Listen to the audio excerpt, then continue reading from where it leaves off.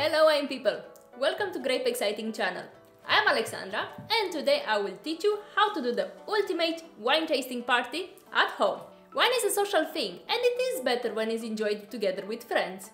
But when people hear about wine tasting parties, this can be quite intimidating. Just trust me, nothing can be more easy and more fun than have a few bottles of wine with some finger food and good energy. I love to organize parties and to make sure everything is done up to the smallest detail. So let's take it step by step. Firstly, you have to think how many friends you would like to have over. You have to consider a few things. A bottle of wine is 6 normal sized glasses. So for one tasting per person, one bottle of wine is enough for approximately 8 people. Another thing is to invite a mix of people with different backgrounds as will make it more interesting and more fun when they will describe that wine. If you are looking to know more about this, I have done a 4 minutes video about wine terminology, so check it out. Second, pick a theme.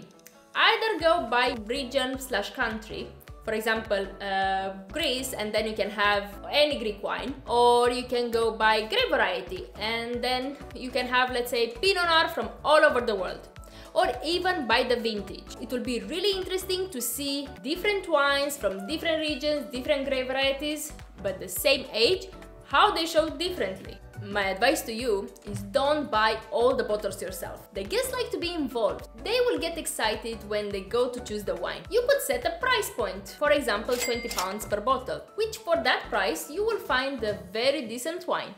Third thing, now if you are having friends who know a bit about wine, it will be really interesting to do it blind. And I'm not referring to taste blindfolded. Just put the wine in a bottle sleeve or paper bag and most importantly, don't forget to number each one of them and secretly write down which number is which. So, you know, try to cover each bottle up to the rim because some of your friends or guests will recognize their wine. But if you want your tasting to be more chilled, just leave the bottles how they are and then the guests can go back to them if they really like something.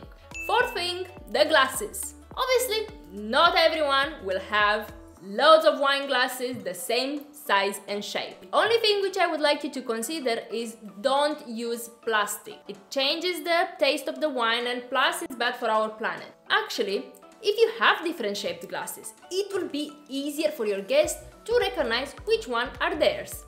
But if you do have glasses that are all the same, which is very good by the way, then consider writing their name on their glass with a washable marker or felt tip pen.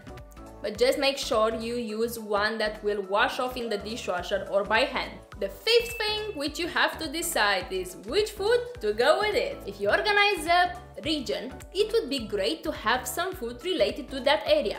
But otherwise, just make a nice charcuterie platter with some hard cheeses and some crackers. Easy finger food. Also, make sure you have enough water on the table to keep your guests hydrated.